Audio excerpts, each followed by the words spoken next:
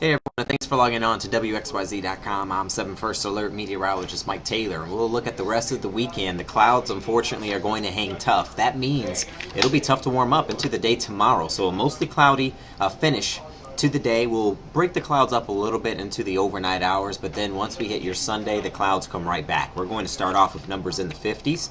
By the afternoon, a few showers, not going to rule that out. This will be because of a warm front that's going to lift back into the area. So even though it is a warm front, we're not going to feel the warmth behind this air mass, at least not until Monday. For Sunday, it's going to be about clouds, also an opportunity of rain.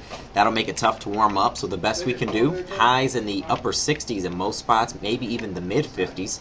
Rain about a 30% chance here, but once we get towards your Monday and Tuesday, those numbers are going to skyrocket back into the 80s. Muggy meter climbs as well, and we'll have another round of seeing some showers and storms both Monday as well as Tuesday, but neither day is going to be a washout. 55 degrees for tonight. Winds be fairly light from the east northeast. 67, best we can do tomorrow for a high.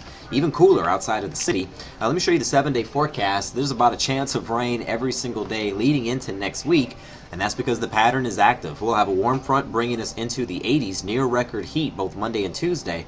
And then after that, we start to cool down thanks to that cold front that really cools us down. Check out the numbers both Thursday, Friday, and Saturday. Highs in the 60s and lows in the 50s and even the 40s.